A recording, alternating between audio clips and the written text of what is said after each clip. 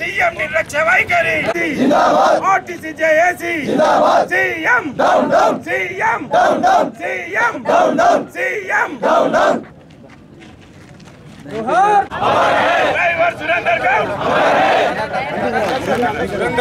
Surender Goud Surender Goud Surender Goud Srinivas Reddy Srinivas Reddy Srinivas Reddy Surender Goud Surender Goud Surender Goud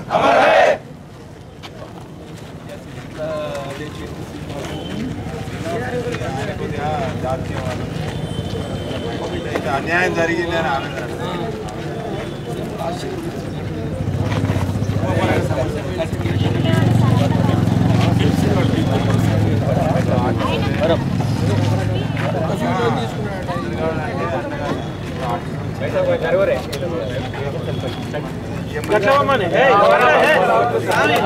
మన సౌకర్యం ఏమి దానికి సరైన అవగాహన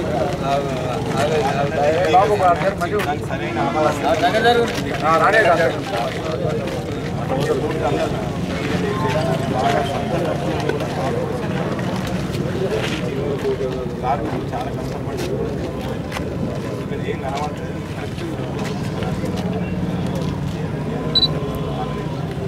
మనకి తెలియదు ఒక ఐదు ఏమవుతుంది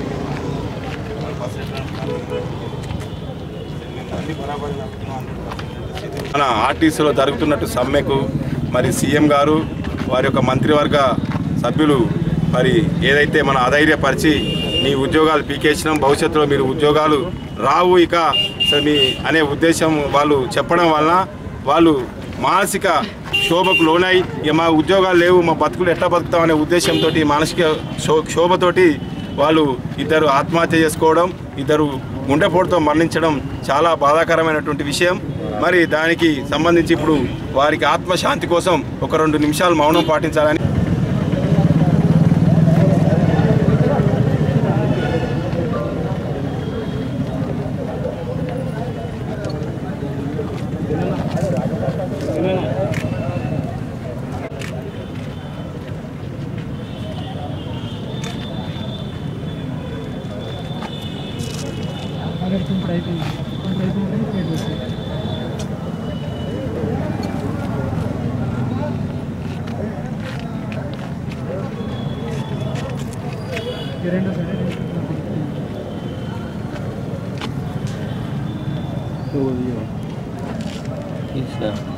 కామ్రేడ్ డ్రైవర్ శ్రీనివాస్ రెడ్డి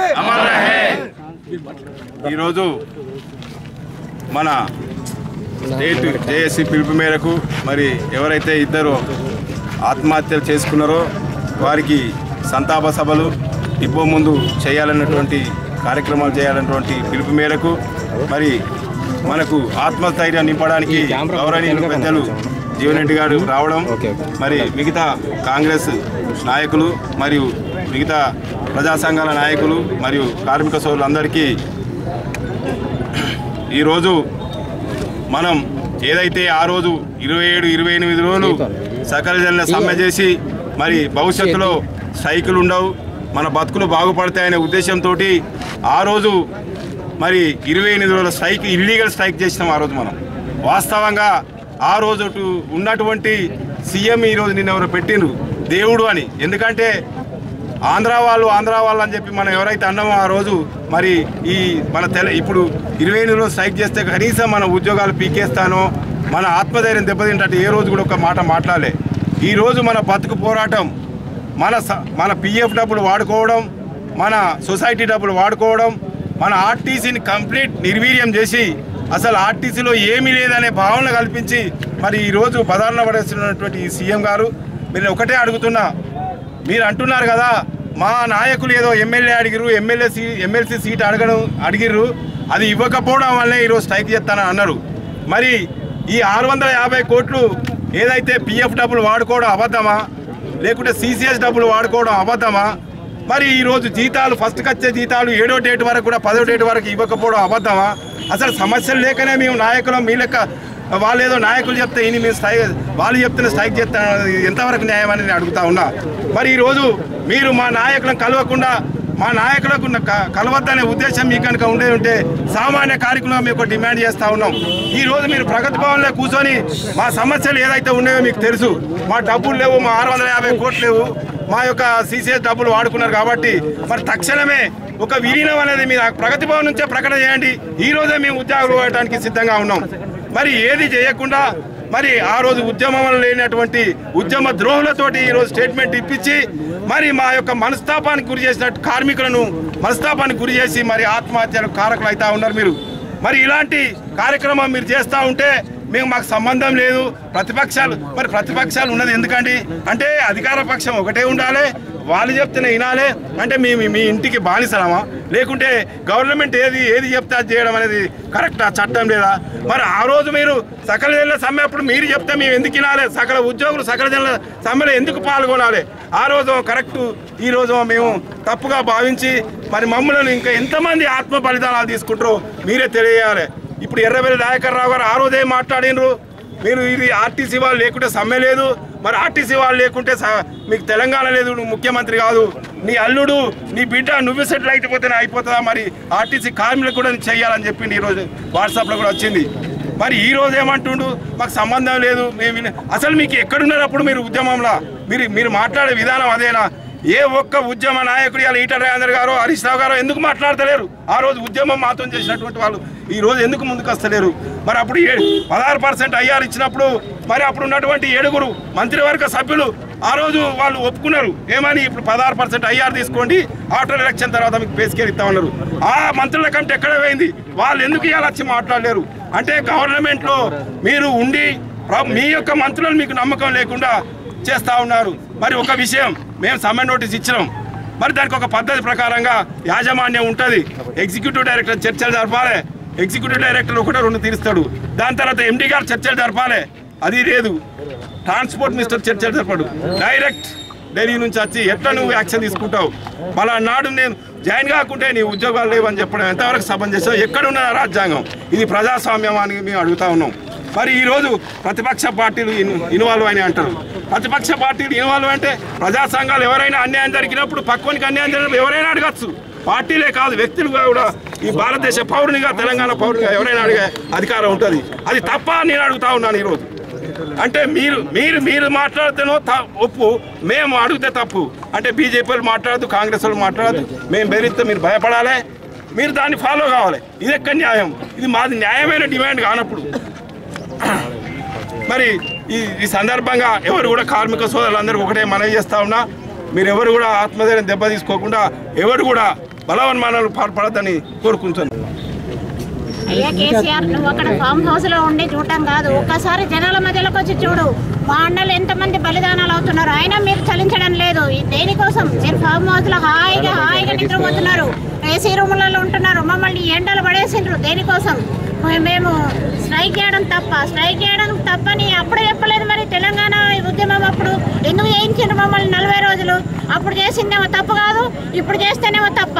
ఇప్పుడు మీకు ఎన్ని రోజులైంది మీకు నోటీస్ ఇచ్చి?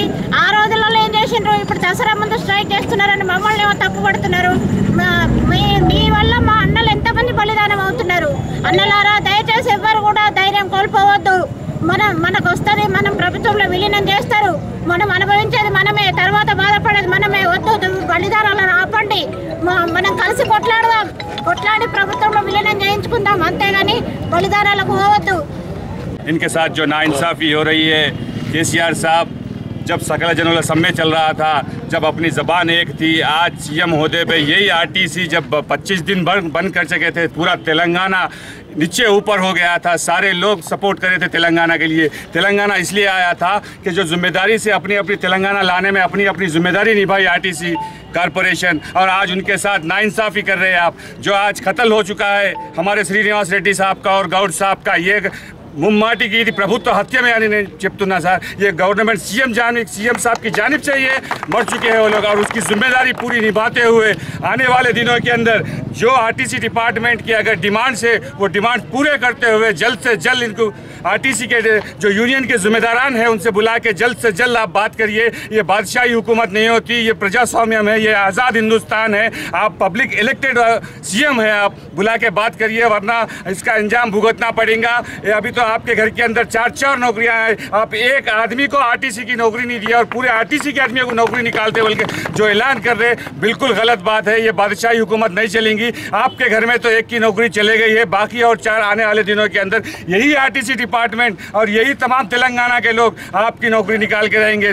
जल्द से जल्द ये हमारी इंतजा है और ये हमारी गुजारिश है आरटीसी डिपार्टमेंट की जानब की वजह से कि ये नौकरियों को बहाल करे और जल्द से जल्द आने जी ఆనాడు కేసీఆర్ అండగా నిలిచింది ఇదే కార్మిక సోదరులు అని చెప్పి అంటున్నా ఇదే కార్మిక సోదరులు అని చెప్పి అంటున్నా ఇవల్ల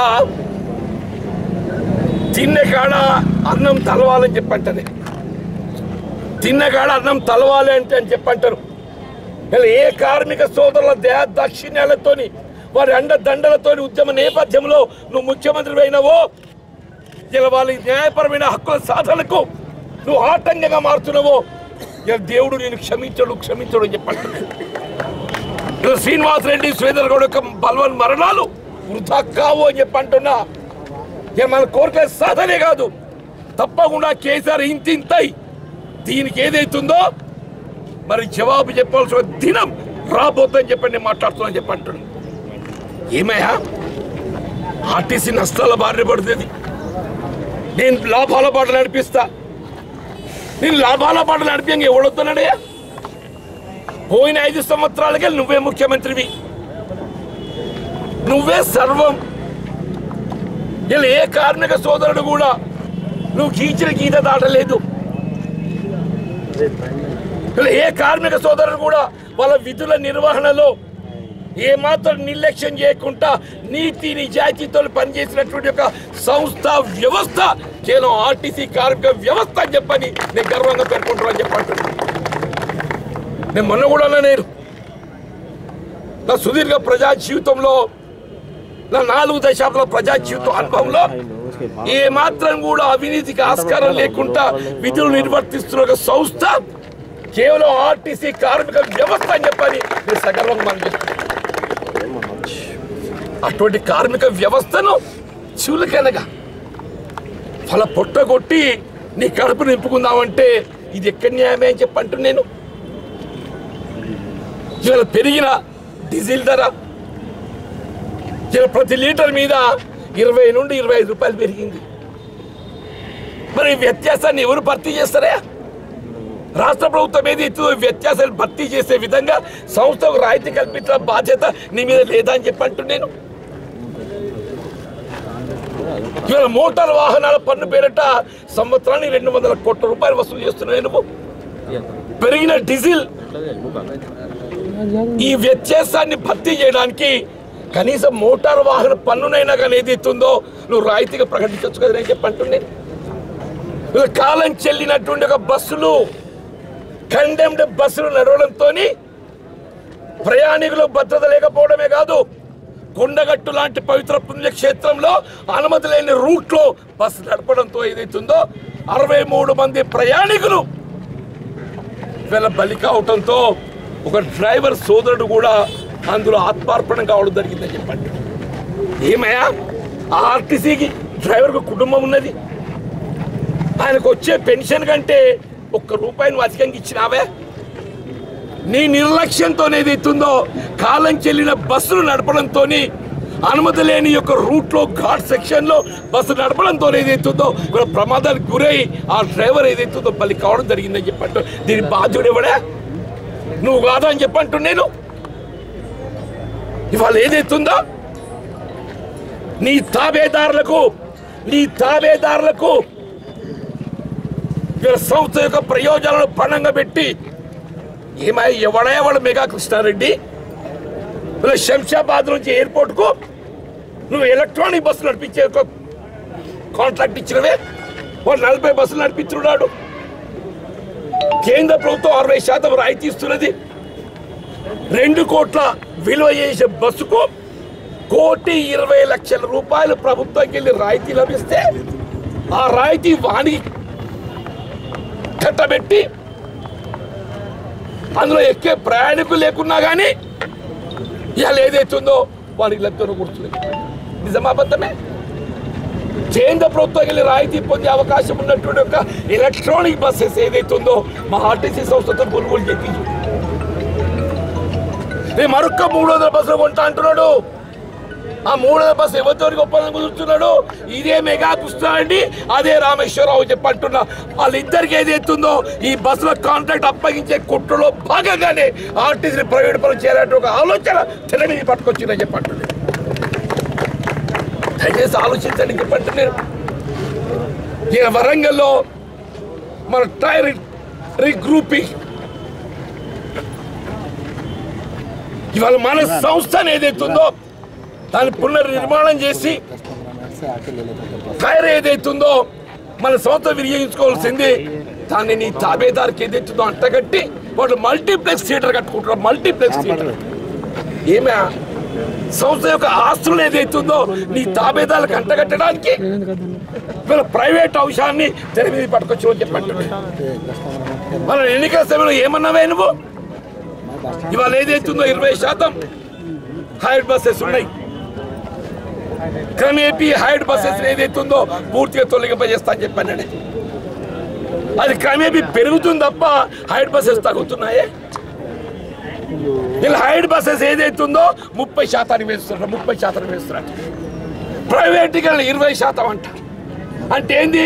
అల్టిమేట్గా ఆర్టీసీలో యాభై ఒక్క శాతం ప్రైవేట్ పరం చేసి మన నలభై తొమ్మిది శాతం కుదించి ఏ విధంగా నిజాం షుగర్ ఫ్యాక్టరీని అమ్మకానికి పెట్టిండో ఏ విధంగా నిజాం షుగర్ ఫ్యాక్టరీ అమ్మకాన్ని పెట్టిండో ఆర్టీసీ సంస్థలు అమ్మకాన్ని పెట్టడంలో కుట్రలో భాగంగా ఏదైతుందో దీన్ని నిర్వీర్యం చేస్తుందని చెప్పి అంటున్నా. దయచేసి ఏదైతుందో ఇలా ఆర్టీసీ కార్మికులు ఎన్నడూ వ్యతిరేకించలేదు. నేను విభేదించలేదు. ఏమనంటే నేను నలభై నాలుగు శాతం ఇచ్చిన ఏటికెళ్ళి ఇచ్చిన నలభై నాలుగు శాతం. పొరుగు రాష్ట్రం నలభై మూడు ఇస్తే నీ పెద్దరికాన్ని కూడా ఎక్కువ కార్మికుల demand was only for forty three కార్మికుల డిమాండ్ ఏదైతే కేవలం నలభై మూడు మాత్రమే కోరితే నీ పెద్దరికానికి నువ్వు నలభై నాలుగు ఏడు రోజుల సమ్మె తర్వాత మరి ఆనాడు అదే పొరుగు రాష్ట్రాన్ని ఆదర్శంగా తీసుకున్నవే ఈయన అదే పొరుగు రాష్ట్రం ఏదైతుందో ఇరవై ఎనిమిది శాతం భద్రత పుట్టిస్తుందని చెప్పండి నిజమాబద్ధమే వీళ్ళన్నింట్లో అన్నింట్లో ఏదైతుందో జగన్ నా దోస్తు ఏమే? ఆ నీ దోస్తు అయితే వాడు చేసిన ఒక్క పని చేయను ఆయన నువ్వు. నీ వయసులో సగం వయసు లేదు దానికి నీ వయసులో సగం వయసు లేదు. ఈయన కొడుకు అంటాడు చిన్నోడా? ఈయన కొడుకు అంటాడు చిన్నోడు. ఆర్టీసీని ఏదైతుందో ప్రభుత్వంలో విలీనం చేయడంతో పాటుగా ఆర్టీసీ సంస్థ పరిరక్షణ కొరకు ఆర్టీసీలో విధులు నిర్వర్తిస్తున్న కార్మికులకు ప్రభుత్వ ఉద్యోగస్తులు సమానంగా వేతనాలు కల్పిస్తారని ఒక భావనతో నిర్ణయం తీసుకున్నది ఇప్పుడేమంటాడు మళ్ళా. తోటోడు తొడగోసుకుంటే మెడ కోసుకుంటాను మరి ఆ తొడగోసుకుంటా నీ పక్కన ఎందుకు పెట్టుకుంటున్నావే? వాడు తొడగోసుకుంటే వాడిని పక్కన పెట్టుకుంటున్నావే నువ్వు? నువ్వు పక్కన పెట్టుకుంటున్నాం అంటే వాడు మంచి చేసినట్టే కదా. అంటే ఏంటి అంటున్నా? ఎటు పోతుంది? ఆలోచన చాలా చెప్పి చెప్పంటున్నా. ఇలా కొద్దిమంది మిత్రులు మాట్లాడతారు. ప్రభుత్వ ఉద్యోగస్తులకు ఆర్టీసీ కార్మికులకు పొంతన లేదు. ఎందుకు లేదే పొంతన? అలా నీ కష్టం వస్తే ఏదైతుందో ఈ ఆర్టీసీ కార్మికులకు అండగా నిలబడా నిలబడలేదే? ఒక ఆర్టీసీ కార్మికుడు ఒక కండక్టర్ ఏదైతుందో ఈయన టెన్త్ కానీ ఇంటర్ కానీ డిగ్రీ కానీ పీజీ కానీ నౌకరికి ఎక్కినాడు కండక్టర్ ఎక్కితే దిగినాడు కండక్టర్ దిగుతున్నాడు ఏమన్నా ఒక్క ఈచల మీదకి ఎక్కుతున్నాడే? మన ప్రభుత్వ శాఖల్లో అదే ప్రభుత్వ శాఖల్లో జూనియర్ అసిస్టెంట్గా నియామక అయినటువంటి ప్రభుత్వ ఉద్యోగి superintendent tahsildar RDO MDO engineer. ఏమయ్యా మా కార్మికులకు ప్రమోషన్ అవసరం లేదానే? కనీసం వేత భత్యాల సవరణ లేదని చెప్పట్టు నేను. న్యాయమైన కోరికలు కోరితే అంశాలపై చర్చించకుండా అంశాలపై చర్చించకుండా ఇప్పుడు మా మిత్రుడు మాట్లాడిండు. ముందుగా చర్చలు ఎవరు చేస్తారా? ఈడీ చేస్తాడు తర్వాత ఎవరు చేస్తారు? ఎండి చేస్తాడు తర్వాత ఎవరు చేస్తారు? రవాణా శాఖ మంత్రి చేస్తాడు. తర్వాత ముఖ్యమంత్రి తెర మీదకి వస్తాడు. ఏమైంది? ఈ కింది తరగతి మొత్తం నెట్టేసిందే వాళ్ళు నిన్ను గౌరవ అధ్యక్షుడిగా నియామకం చేసుకోకుంటే నాయకుడు అయినా కనీసం ఒక సానుభూతి ప్రకటన ఒక సానుభూతి ప్రకటన గౌరవ ముఖ్యమంత్రి గారు విజ్ఞప్తి చేస్తున్న మా ఆర్టీసీ కార్మిక సోదరుల న్యాయపరమైన కోరికల పరిష్కారానికి ఏదైతుందో సానుకూలంగా స్పందించాలని చెప్పని ఒక్క ప్రకటిస్తే పాపం పోతుందే? నీ నౌకరు పోతాది. మిస్టర్ హరీష్ రావు నీ మామ ఇచ్చిన నౌకరు ఎన్ని రోజులు ఉంటో మాకు తెలియదు కానీ మా కార్మికులు ఇచ్చిన గౌరవం ఏదైతుందో వీళ్ళు నీ జీవితకాలం ఉంటుంది నీ జీవితకాలం ఉంటుంది చెప్పి అంటున్నాను దయచేసి మా కార్మికులకు అండగా నిలబడు. మా కార్మికులకు అండగా నిలబడని చెప్పట్టు నేను నేను అదే హరీష్ రావు గారు విజ్ఞప్తి చేస్తున్నాను. నేను కార్మికుల కోరికల్లో ఏమాత్రం అసమంజసం ఉన్నా దయచేసి హరీష్ రావు గారిని ఏదైతుందో నువ్వే న్యాయ నిర్ణీత ఉండవు అని చెప్పండి నువ్వే న్యాయ నిర్ణీత ఉన్నా చెప్పంటున్నాను.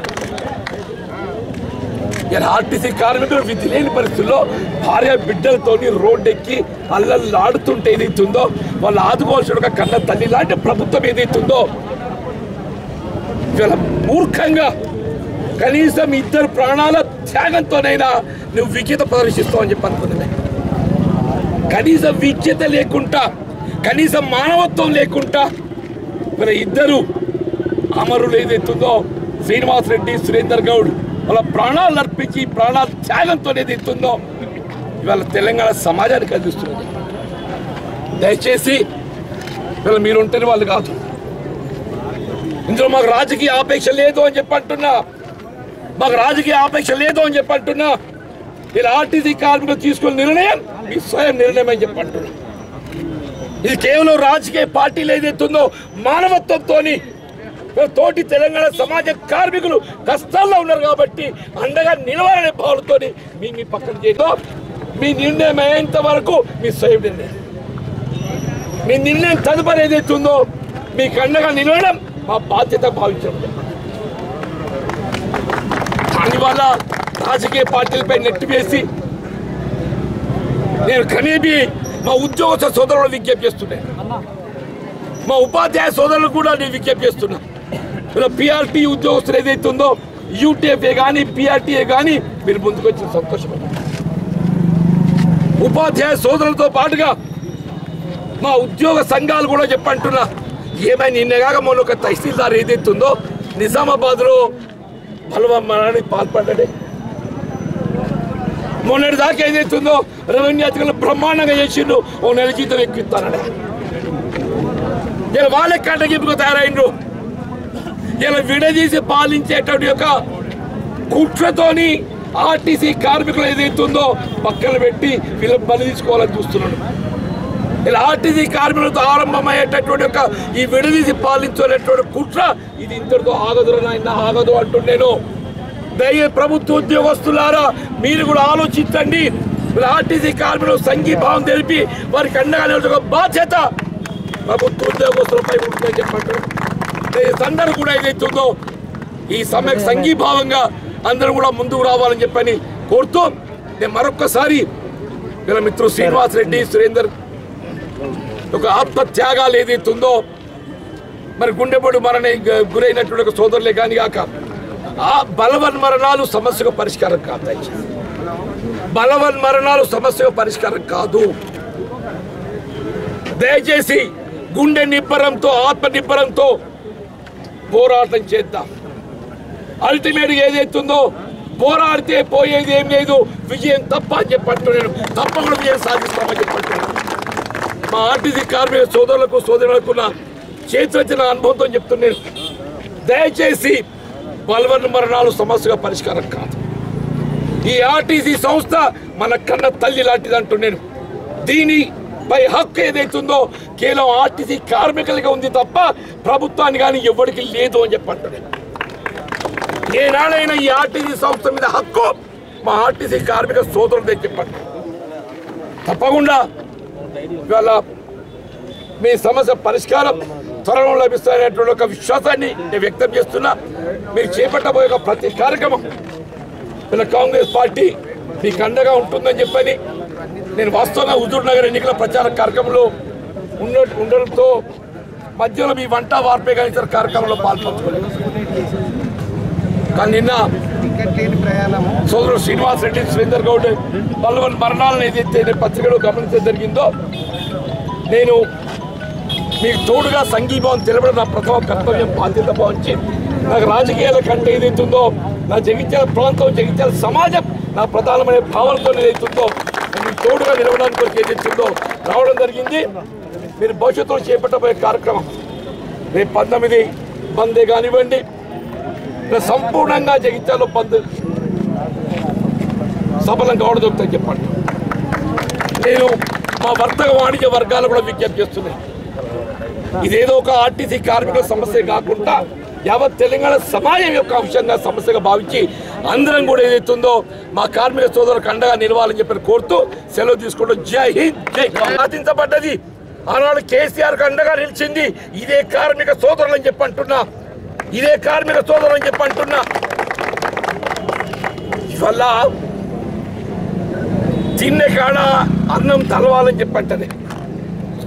తిన్నగాడ అన్నం తలవాలి అంటే అని చెప్పంటారు ఇలా ఏ కార్మిక సోదరుల దే దాక్షిణ్యాలతోని వారి అండ దండలతోని ఉద్యమ నేపథ్యంలో నువ్వు ముఖ్యమంత్రి అయినవో ఇలా వాళ్ళ న్యాయపరమైన హక్కుల సాధనకు నువ్వు ఆటంకంగా మారుతున్నావో ఇలా దేవుడు నేను క్షమించడు క్షమించడు అని చెప్పంటున్నాడు శ్రీనివాస్ రెడ్డి శ్రీధర్ గౌడ్ యొక్క బలవన్ మరణాలు వృధా కావు అని చెప్పి అంటున్నా. మన కోరికల సాధనే కాదు. తప్పకుండా కేసీఆర్ ఇంతింతై దీనికి ఏదైతుందో మరి జవాబు చెప్పాల్సిన దినం రాబోతుందని చెప్పండి నేను చెప్పి అంటున్నాను ఏమయ్యా? ఆర్టీసీ నష్టాల బారిన పడుతుంది. నేను లాభాల పాట నడిపిస్తా.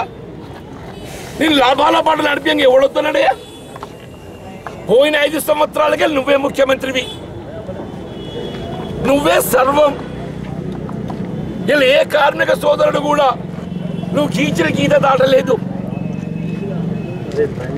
ఇలా ఏ కార్మిక సోదరుడు కూడా వాళ్ళ విధుల నిర్వహణలో ఏమాత్రం నిర్లక్ష్యం చేయకుండా నీతి నిజాయితీతో పనిచేసినటువంటి ఒక సంస్థ వ్యవస్థ కేవలం ఆర్టీసీ కార్మిక వ్యవస్థ అని చెప్పని నేను గర్వంగా పేర్కొంటున్నాను చెప్పంటున్నాను నేను మొన్న కూడా అన్నా నేను. నా సుదీర్ఘ ప్రజా జీవితంలో నా నాలుగు దశాబ్దాల ప్రజా జీవితం అనుభవంలో ఏ మాత్రం కూడా అవినీతికి ఆస్కారం లేకుండా విధులు నిర్వర్తిస్తున్న ఒక సంస్థ కేవలం ఆర్టీసీ కార్మిక వ్యవస్థ అని చెప్పని నేను సగర్వంగా మనం అటువంటి కార్మిక వ్యవస్థను చివులకనగా ఫల పొట్టగొట్టి నీ కడుపు నింపుకుందామంటే ఇది ఎక్కడి న్యాయమే అని చెప్పంటు నేను. ఇవాళ పెరిగిన డీజిల్ ధర. ఇవాళ ప్రతి లీటర్ మీద ఇరవై నుండి ఇరవై ఐదు రూపాయలు పెరిగింది. మరి ఈ వ్యత్యాసాన్ని ఎవరు భర్తీ చేస్తారా? రాష్ట్ర ప్రభుత్వం ఏది ఇస్తుందో వ్యత్యాసాన్ని భర్తీ చేసే విధంగా సంస్థకు రాయితీ కల్పించిన బాధ్యత నీ మీద లేదా అని చెప్పి నేను ఇవాళ మోటార్ వాహనాల పన్ను పేరట సంవత్సరానికి రెండు వందల కోట్ల రూపాయలు వసూలు చేస్తున్నాను నువ్వు. పెరిగిన డీజిల్ ఈ వ్యత్యాసాన్ని భర్తీ చేయడానికి కనీసం మోటార్ వాహన పన్నునైనా కానీ ఏది ఇస్తుందో నువ్వు రాయితీగా ప్రకటించవచ్చు కదా నేను చెప్పంటుండే. కాలం చెల్లినటువంటి ఒక బస్సులు కండెమ్డ్ బస్సులు నడవడంతో ప్రయాణికులు భద్రత లేకపోవడమే కాదు కొండగట్టు లాంటి పవిత్ర పుణ్యక్షేత్రంలో అనుమతి లేని రూట్లో బస్సు నడపడంతో ఏదైతుందో అరవై మూడు మంది ప్రయాణికులు వీళ్ళ బలి కావటంతో ఒక డ్రైవర్ సోదరుడు కూడా అందులో ఆత్మార్పణం కావడం జరిగిందని చెప్పండి. ఏమయ్యా? ఆర్టీసీకి డ్రైవర్కు కుటుంబం ఉన్నది. ఆయనకు వచ్చే పెన్షన్ కంటే ఒక్క రూపాయిని అధికంగా ఇచ్చినావే? నీ నిర్లక్ష్యంతో ఏదైతుందో కాలం చెల్లిన బస్సులు నడపడంతో అనుమతి లేని యొక్క రూట్లో ఘాట్ సెక్షన్లో బస్సు నడపడంతో ఏదైతుందో ఇక్కడ ప్రమాదానికి గురై ఆ డ్రైవర్ ఏదైతుందో బలి కావడం జరిగిందని చెప్పట్టు దీని బాధ్యుడు ఎవడా? నువ్వు కాదా అని చెప్పంటు నేను? ఇవాళ ఏదైతుందా? నీ తాబేదారులకు నీ తాబేదారులకు వీళ్ళ సంస్థ యొక్క ప్రయోజనాలను పణంగా పెట్టి ఏమై ఎవడే వాడు మెగా కృష్ణారెడ్డి ఇలా శంషాబాద్ నుంచి ఎయిర్పోర్ట్కు నువ్వు ఎలక్ట్రానిక్ బస్సులు నడిపించే ఒక కాంట్రాక్ట్ ఇచ్చినవే? వాళ్ళు నలభై బస్సులు నడిపించున్నాడు. కేంద్ర ప్రభుత్వం అరవై శాతం రాయితీ ఇస్తున్నది. రెండు కోట్ల విలువ చేసే బస్సుకు కోటి ఇరవై లక్షల రూపాయలు ప్రభుత్వంకి వెళ్ళి రాయితీ లభిస్తే ఆ రాయితీ వాణి కట్టబెట్టి అందులో ఎక్కే ప్రయాణికులు లేకున్నా కానీ ఇవాళ ఏదైతుందో వాడికి లబ్ధిలో కూర్చుంది నిజమాబద్ధమే కేంద్ర ప్రభుత్వం వెళ్ళి రాయితీ పొందే అవకాశం ఉన్నటువంటి ఒక ఎలక్ట్రానిక్ బస్సెస్ ఏదైతుందో మా ఆర్టీసీ సంస్థతో కొనుగోలు చేయించు నేను మరొక మూడు వందల బస్సులు కొంటా అంటున్నాడు. ఆ మూడు వందల బస్సు ఎవరితో ఒప్పందం కుదురుతున్నాడు? ఇదే మెగా కుస్తా అండి. అదే రామేశ్వరరావు చెప్పి అంటున్నా. వాళ్ళిద్దరికి ఏదైతుందో ఈ బస్సుల కాంట్రాక్ట్ అప్పగించే కుట్రలో భాగంగానే ఆర్టీసీ ప్రైవేట్ పనులు చేయాలంటే ఒక ఆలోచన తెర పట్టుకొచ్చిందని చెప్పి అంటున్నాడు దయచేసి ఆలోచించండి చెప్పండి నేను ఇక వరంగల్లో మన టైర్ రీగ్రూపింగ్. ఇవాళ మన సంస్థను ఏదైతుందో దాన్ని పునర్నిర్మాణం చేసి టైర్ ఏదైతుందో మన సంస్థ వినియోగించుకోవాల్సింది దాన్ని నీ తాబేదారికి ఏదైతుందో అంటగట్టి వాళ్ళు మల్టీప్లెక్స్ థియేటర్ కట్టుకుంటున్నారు మల్టీప్లెక్స్ థియేటర్. ఏమే సంస్థ యొక్క ఆస్తులు ఏదైతుందో నీ తాబేదాలు కంటగట్టడానికి వీళ్ళ ప్రైవేట్ అంశాన్ని తెర మీద పట్టుకొచ్చి చెప్పండి మన ఎన్నికల సమయంలో ఏమన్నావే నువ్వు? ఇవాళ ఏదైతుందో ఇరవై శాతం హైడ్ బస్సెస్ ఉన్నాయి. క్రమేపీ హైడ్ బస్సెస్ ఏదైతుందో పూర్తిగా తొలగింపజేస్తా అని చెప్పండి అది క్రమేపీ పెరుగుతుంది తప్ప హైడ్ బస్సెస్ తగ్గుతున్నాయే? ఇలా హైడ్ బస్సెస్ ఏదైతుందో ముప్పై శాతానికి వేస్తున్నారు ముప్పై శాతానికి వేస్తున్నారు ప్రైవేట్ ఇరవై శాతం అంటారు. అంటే ఏంది? అల్టిమేట్గా ఆర్టీసీలో యాభై ఒక్క శాతం ప్రైవేట్ పరం చేసి మన నలభై తొమ్మిది శాతం కుదించి ఏ విధంగా నిజాం షుగర్ ఫ్యాక్టరీని అమ్మకానికి పెట్టిండో ఏ విధంగా నిజాం షుగర్ ఫ్యాక్టరీ అమ్మకానికి పెట్టిండో ఆర్టీసీ సంస్థలు అమ్మకానికి పెట్టడంలో కుట్రలో భాగంగా ఏదైతుందో దీన్ని నిర్వీర్యం చేస్తుందని చెప్పి అంటున్నా దయచేసి ఏదైతుందో ఇలా ఆర్టీసీ కార్మికులు ఎన్నడూ వ్యతిరేకించలేదు. నిన్నెన్నడు ఎన్నడూ విభేదించలేదు. ఏమనంటే నేను నలభై నాలుగు శాతం ఇచ్చిన ఏడుకెళ్ళి ఇచ్చిన నలభై నాలుగు శాతం. పొరుగు రాష్ట్రం నలభై మూడు ఇస్తే నీ పెద్దరికాన్ని కూడా ఎక్కువ ఇచ్చినాడు. కార్మికుల demand was only for forty three కార్మికుల డిమాండ్ ఏదైతే కేవలం నలభై మూడు మాత్రమే కోరితే నీ పెద్దరికానికి నువ్వు నలభై నాలుగు ఏడు రోజుల సమ్మె తర్వాత. మరి ఆనాడు అదే పొరుగు రాష్ట్రాన్ని ఆదర్శంగా తీసుకున్నవే. నేను అదే పొరుగు రాష్ట్రం ఏదైతుందో ఇరవై ఎనిమిది శాతం మధ్యంతర పుట్టిస్తుందని చెప్పండి నిజమాబద్ధమే వీళ్ళన్నింట్లో ఏదైతుందో జగన్ నా దోస్తు మా ఏమే? నీ దోస్తు అయితే ఆడు చేసిన ఒక్క పని చేయను ఆయన నువ్వు. నీ వయసులో సగం వయసు లేదు దానికి నీ వయసులో సగం వయసు లేదు. ఈయన కొడుకు అంటాడు చిన్నోడే? ఈయన కొడుకు అంటాడు చిన్నోడు. ఆర్టీసీ ఏదైతుందో ప్రభుత్వంలో విలీనం చేయడంతో పాటుగా ఆర్టీసీ సంస్థ పరిరక్షణ కొరకు ఆర్టీసీలో విధులు నిర్వర్తిస్తున్న కార్మికులకు ప్రభుత్వ ఉద్యోగస్తులు సమానంగా వేతనాలు కల్పిస్తారని ఒక భావనతో నిర్ణయం తీసుకున్నది ఇప్పుడేమంటాడు మళ్ళా. తోటోడు తొడగోసుకుంటే మెడ కోసుకుంటాను మరి ఆ తొడగోసుకుంటా నీ పక్కన ఎందుకు పెట్టుకుంటున్నావే? వాడు తొడగోసుకుంటే వాడిని పక్కన ఎందుకు పెట్టుకుంటున్నావే నువ్వు? నువ్వు పక్కన పెట్టుకుంటున్నాం అంటే వాడు మంచి చేసినట్టే కదా? అంటే ఏంటి అంటున్నా? ఎటు పోతుంది? ఆలోచన చాలా మంది చెప్పంటున్నా. ఇలా కొద్దిమంది మిత్రులు మాట్లాడతారు. ప్రభుత్వ ఉద్యోగస్తులకు ఆర్టీసీ కార్మికులకు పొంతన లేదు. ఎందుకు లేదే పొంతన? అలా నీ కష్టం వస్తే ఏదైతుందో ఈ ఆర్టీసీ కార్మికులకు అండగా నిలబడా నిలబడలేదే? ఒక ఆర్టీసీ కార్మికుడు ఒక కండక్టర్ ఏదైతుందో టెన్త్ కానీ ఇంటర్ కానీ డిగ్రీ కానీ పీజీ కానీ నౌకరికి ఎక్కినాడు కండక్టర్ ఎక్కితే దిగినాడు కండక్టర్ దిగుతున్నాడు ఏమన్నా ఒక్క ఈచల మీదకి ఎక్కుతున్నాడే? మరి ప్రభుత్వ శాఖల్లో అదే ప్రభుత్వ శాఖల్లో జూనియర్ అసిస్టెంట్గా నియామక అయినటువంటి ప్రభుత్వ ఉద్యోగి superintendent tahsildar RDO MDO engineer ఏమయ్యా? మా కార్మికులకు ప్రమోషన్ అవసరం లేదానే? కనీసం వేత భత్యాల సవరణ లేదని చెప్పట్టు నేను న్యాయమైన కోరికలు కోరితే అంశాలపై చర్చించకుండా అంశాలపై చర్చించకుండా ఇప్పుడు మా మిత్రుడు మాట్లాడిండు. ముందుగా చర్చలు ఎవరు చేస్తారా? ఈడీ చేస్తాడు. తర్వాత ఎవరు చేస్తారు? ఎండీ చేస్తాడు. తర్వాత ఎవరు చేస్తారు? రవాణా శాఖ మంత్రి చేస్తాడు. తర్వాత ముఖ్యమంత్రి తెర మీదకి వస్తాడు. నేను ఏమైంది? ఈ కింది తరగతి మొత్తం నెట్టేసిందా? వాళ్ళు నిన్ను గౌరవ అధ్యక్షుడిగా నియామకం చేసుకోకుంటే నాయకుడు అయినా కనీసం ఒక సానుభూతి ప్రకటన ఒక సానుభూతి ప్రకటన. గౌరవ ముఖ్యమంత్రి గారు విజ్ఞప్తి చేస్తున్న మా ఆర్టీసీ కార్మిక సోదరుల న్యాయపరమైన కోరికల పరిష్కారానికి ఏదైతుందో సానుకూలంగా స్పందించాలని చెప్పని ఒక్క ప్రకటన పాపం పోతుందే? నీ నౌకరు పోతాది. మిస్టర్ హరీష్ రావు నీ మామ ఇచ్చిన నౌకరు ఎన్ని రోజులు ఉంటో మాకు తెలియదు కానీ మా కార్మికులు ఇచ్చిన గౌరవం ఏదైతుందో ఉందో నీ జీవితకాలం ఉంటుంది నీ జీవితకాలం ఉంటుంది చెప్పి అంటున్నాను దయచేసి మా కార్మికులకు అండగా నిలబడు.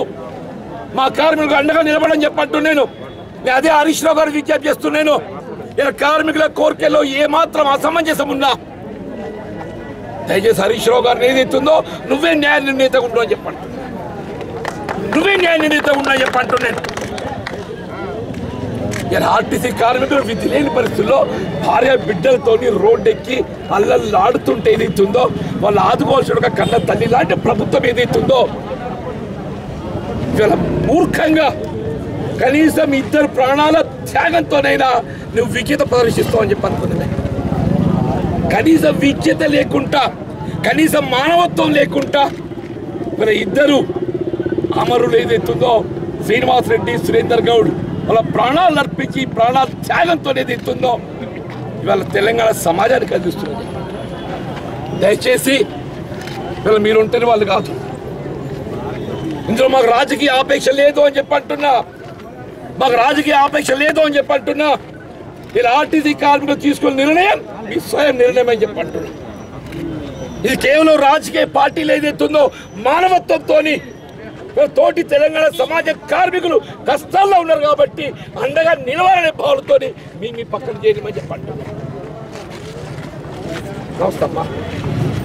సో, మీ నిర్ణయం అయ్యేంత వరకు మీ స్వయం నిర్ణయం. మీ నిర్ణయం తదుపరి ఏదైతే ఉందో మీకు అండగా నిలవడం మా బాధ్యత భావించడం. ఇవాళ రాజకీయ పార్టీలపై నెట్టి వేసి నేను కనీపి మా ఉద్యోగ సోదరులు విజ్ఞప్తి చేస్తున్నాను మా ఉపాధ్యాయ సోదరులు కూడా నేను విజ్ఞప్తి చేస్తున్నా. ఇలా పిఆర్టీ ఉద్యోగస్తులు ఏదైతే ఉందో యూటీఎఫ్ఏ కానీ పిఆర్టీఏ కానీ మీరు ముందుకు వచ్చిన సంతోషం ఉపాధ్యాయ సోదరులతో పాటుగా మా ఉద్యోగ సంఘాలు కూడా చెప్పంటున్నా. ఏమైనా నిన్నగాక మొన్న ఒక తహసీల్దార్ ఏదైతే ఉందో నిజామాబాద్లో బలవమ్మనానికి పాల్పడ్డాడు మొన్నటి దాకా ఏదైతుందో రెవెన్యూ అధికారులు బ్రహ్మాండంగా చేసిండు ఓ నెల జీతం ఎక్కిస్తానడా ఇలా వాళ్ళకి కంటగింపుకు తయారైండ్రు. ఇలా విడదీసి పాలించేటువంటి యొక్క కుట్రతోని ఆర్టీసీ కార్మికులు ఏదైతుందో పక్కన పెట్టి వీళ్ళ బలి తీసుకోవాలని చూస్తున్నాడు. ఇలా ఆర్టీసీ కార్మికులతో ఆరంభమయ్యేటటువంటి ఒక ఈ విడదీసి పాలించేటటువంటి కుట్ర ఇది ఇంతటితో ఆగదు నాయన ఆగదు అంటున్నాను దయ ప్రభుత్వ ఉద్యోగస్తులారా మీరు కూడా ఆలోచించండి. ఇలా ఆర్టీసీ కార్మికులు సంఘీభావం తెలిపి వారికి అండగా నిలబడే బాధ్యత ప్రభుత్వ ఉద్యోగస్తులపై ఉంటుందని చెప్పంటారు అందరూ కూడా ఏదైతుందో ఈ సమ్మెకు సంఘీభావంగా అందరూ కూడా ముందుకు రావాలని చెప్పని కోరుతూ నేను మరొక్కసారి వీళ్ళ మిత్రుడు శ్రీనివాస్ రెడ్డి సురేందర్ ఒక ఆత్మత్యాగాలు ఏదైతే ఉందో మరి గుండెపడు మరణ గురైనటువంటి ఒక సోదరులే కానీ కాక ఆ బలవన్ మరణాలు సమస్యకు పరిష్కారం కాదు బలవన్ మరణాలు సమస్యకు పరిష్కారం కాదు. దయచేసి గుండె నిబ్బరంతో ఆత్మ నిబ్బరంతో పోరాటం చేద్దాం. అల్టిమేట్ ఏదైతుందో పోరాడితే పోయేది ఏం లేదు. విజయం తప్ప అని చెప్పంటున్నాను తప్పకుండా విజయం సాధిస్తామని చెప్పంటున్నాను మా ఆర్టీసీ కార్మిక సోదరులకు సోదరులకు నా అనుభవంతో చెప్తున్నాను. దయచేసి బలవన్ మరణాలు సమస్యగా పరిష్కారం కాదు. ఈ ఆర్టీసీ సంస్థ మన కన్న తల్లి లాంటిది అంటున్నాను. దీనిపై హక్కు ఏదైతుందో కేవలం ఆర్టీసీ కార్మికులుగా ఉంది తప్ప ప్రభుత్వాన్ని కానీ ఎవరికి లేదు అని చెప్పంటున్నాను. ఏనాడైనా ఈ ఆర్టీసీ సంస్థ మీద హక్కు మా ఆర్టీసీ కార్మిక సోదరులదే చెప్పండి తప్పకుండా ఇవాళ మీ సమస్య పరిష్కారం త్వరలో లభిస్తాయనేటువంటి ఒక విశ్వాసాన్ని నేను వ్యక్తం చేస్తున్నా. మీరు చేపట్టబోయే ఒక ప్రతి కార్యక్రమం ఇలా కాంగ్రెస్ పార్టీ మీకు అండగా ఉంటుందని చెప్పని నేను వాస్తవంగా హుజూర్ నగర్ ఎన్నికల ప్రచార కార్యక్రమంలో ఉన్న ఉండడంతో మధ్యలో మీ వంట వార్పే కానీ ఇతర కార్యక్రమంలో పాల్పంచుకోలేదు. కానీ నిన్న సోదరుడు శ్రీనివాస్ రెడ్డి సురేందర్ గౌడ్ పలువురు మరణాలను ఏదైతే నేను పత్రికలో గమనించడం జరిగిందో నేను మీకు తోడుగా సంఘీభావం తెలపడం నా ప్రథమ కర్తవ్యం బాధ్యత భావించి నాకు రాజకీయాల కంటే ఏదైతుందో నా జగిత్యాల ప్రాంతం జగిత్యాల సమాజం నా ప్రధానమైన భావనతో ఏదైతుందో మీకు తోడుగా నిలవడానికి కొరకు ఏదైతుందో రావడం జరిగింది. మీరు భవిష్యత్తులో చేపట్టబోయే కార్యక్రమం రేపు పంతొమ్మిది బందే కానివ్వండి. సంపూర్ణంగా జగిత్యాల పందు సఫలం కావడం దొరుకుతాయి చెప్పండి. నేను మా వర్తక వాణిజ్య వర్గాలు కూడా విజ్ఞప్తి చేస్తున్నాను ఇదేదో ఒక ఆర్టీసీ కార్మికుల సమస్య కాకుండా యావత్ తెలంగాణ సమాజం యొక్క అంశంగా సమస్యగా భావించి అందరం కూడా ఏదైతుందో మా కార్మిక సోదరులకు అండగా నిలవాలని చెప్పి కోరుతూ